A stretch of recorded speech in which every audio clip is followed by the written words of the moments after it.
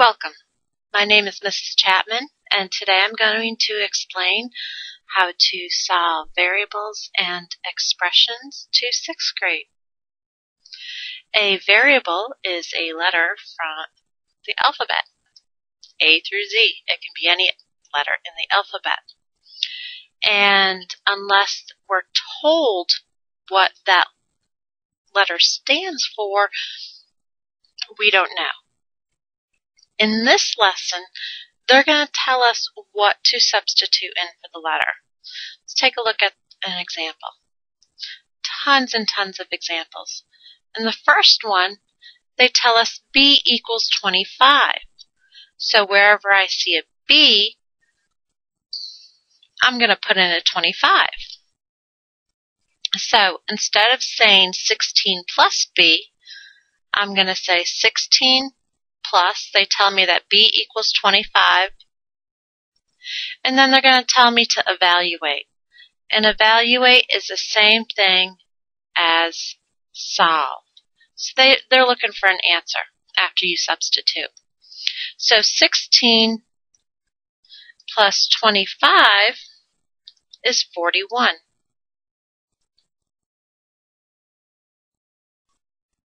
And that's all we do. Let's take a look at another example. They're going to tell me x is 24. So wherever I see x, I'm going to put 24.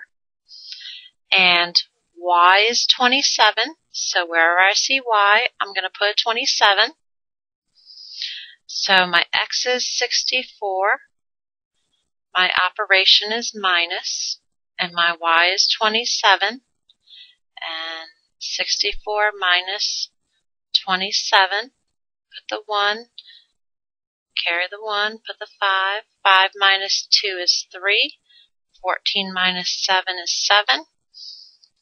X, when x minus y, when x is 24, y is 27, your answer is going to be 37. The great thing about variables is you can put any number in there you want. But like I said before, in this case, they're going to tell you what to put in. Let's look at example number three. 5t plus 4 if t equals 3. So wherever I see a t, I'm going to put a 3. When there's no operation, it can be a variable in a variable or it can be a variable in a number. Anytime they're pushed together like that, it automatically means you're going to use the operation of multiplication.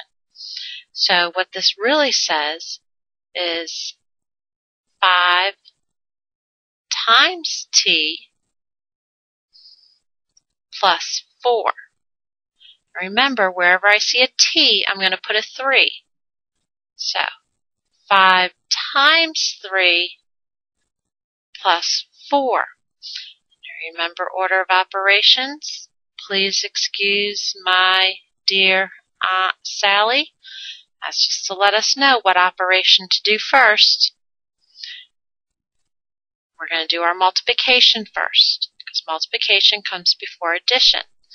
So, 5 times 3 is 15, and then we add 4, we're going to get 19.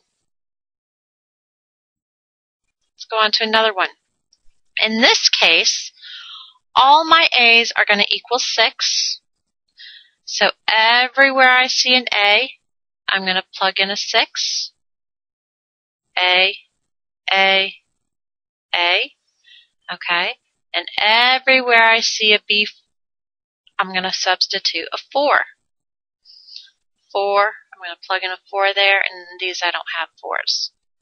Okay, so I'm looking for my colors. A, 6. 6 plus 8, and then I'm going to solve or evaluate. 6 plus 8 is 14. My A is 6. My B is 4. And this is a multiplication sign. And 6 times 4 is 24. My A is 6 my B is 4. You know, I think that was a minus sign. So I'm going to do a minus over here. Let's say that's minus since I already did multiplication. 6 minus 4, or a minus b, is 2. Uh, here I have it again.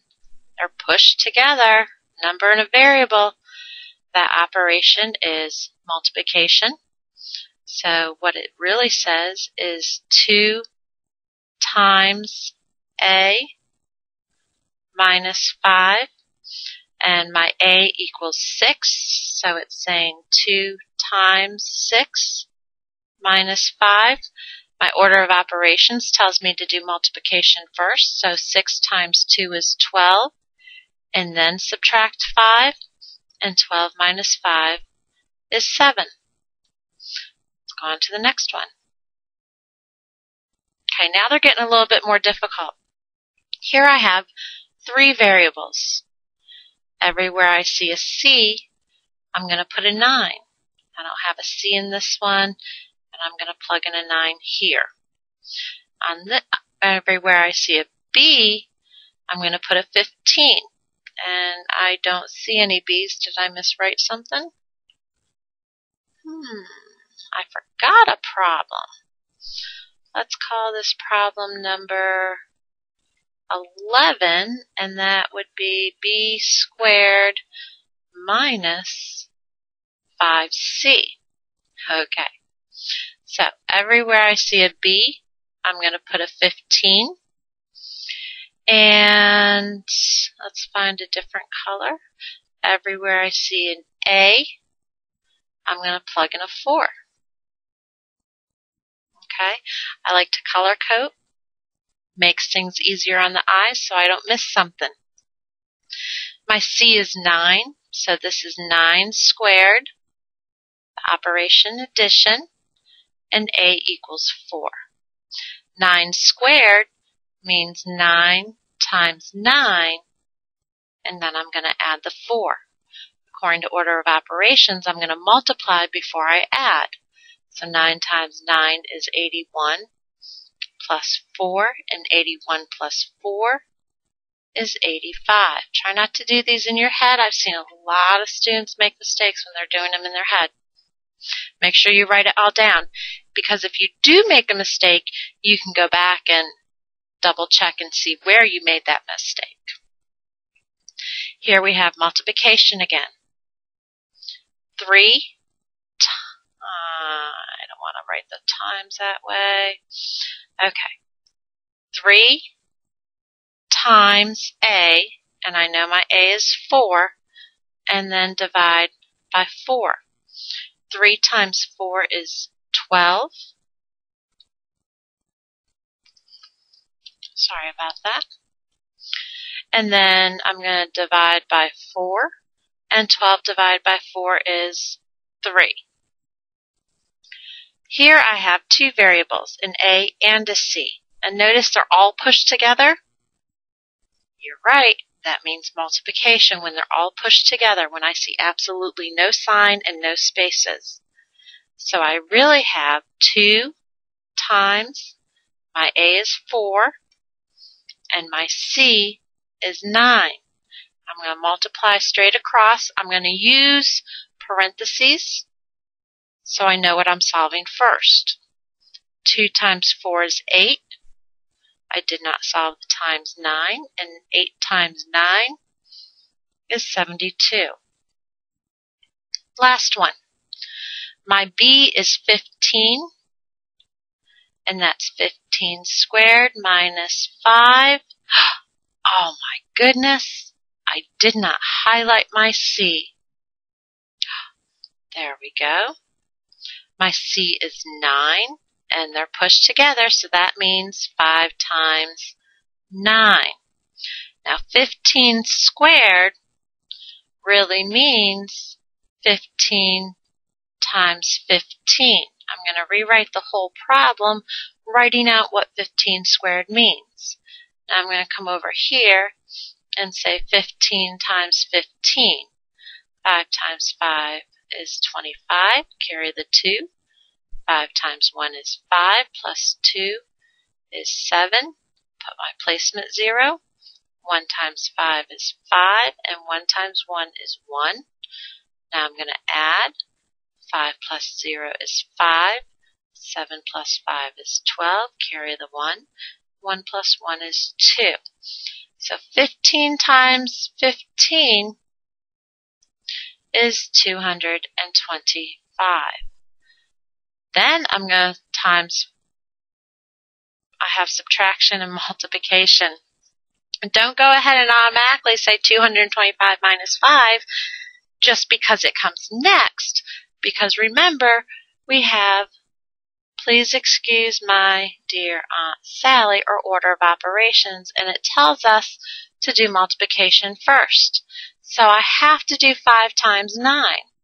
So my problem is 225 minus, and 5 times 9 is 45. And then I subtract, and 225 minus 45, 5 minus 5 is 0. Can't take away the 2 take away 4 from the 2, so I carry a 1. That turns into 1. 12 minus 4 is 8. Bring down my 1, and my answer is 180. Very good. If you look at part B, that's where you'll have the word problems using variables and solving variables and expressions. Thank you for listening.